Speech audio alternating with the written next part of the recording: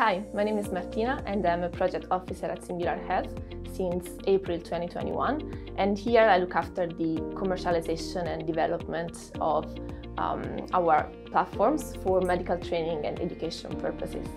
One of our software is Virtual Anatomy. Virtual Anatomy is a digital platform that offers immersive learning for students of all needs and ages. In particular, it really fills the existing gap between the need for relevant educational resources and students' individual learning modalities. This is because studying human biology it's more than just memorizing the name of the organs of the human parts. By learning how the human body works uh, and how it is made, we can really understand the reasons behind the changes that happen to it and how we can modulate some of our behaviors to prevent some of those conditions to occur in the first instance.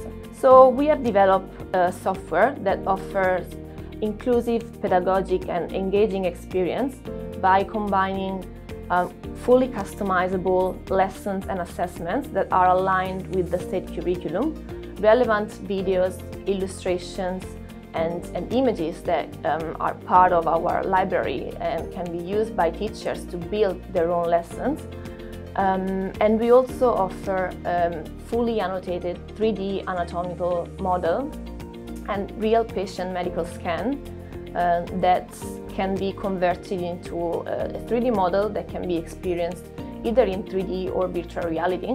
And this is possible thanks to our proprietary technology, our volumetric rendering platform that enable the conversion of any medical scan into a 3D model. Further release of the software will also enable users to export those models um, and in a format that is compatible for 3D printing. And so students will ultimately be able to have um, like a fully customizable um, anatomical model that can be used for, for those students that prefer a tactile way of learning.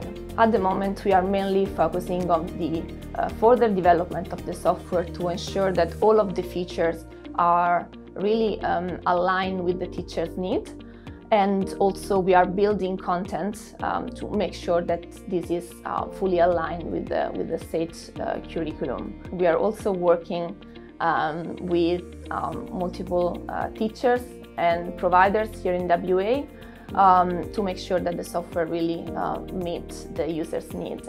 We have recently took part in Constawa 2021 uh, which is the, um, the, conference for the science teacher of WA, where we had the opportunity to present our platform and we gather interest from multiple teachers uh, within WA who were extremely surprised by the potential of the technology.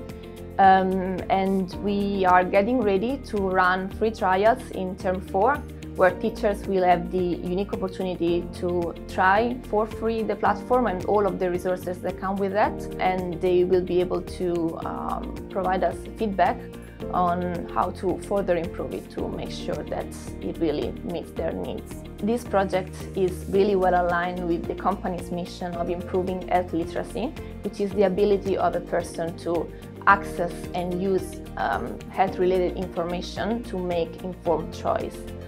Um, and this is because virtual anatomy uh, really offers accessible, immersive and interactive learning for students um, with you know, different ages and different needs. And the students will not only be better prepared for an academic career, but also they will be able to unlock their creativity and learning potentials, develop lateral thinking skills, and become generally more aware of the impacts of their health-related choices for their life.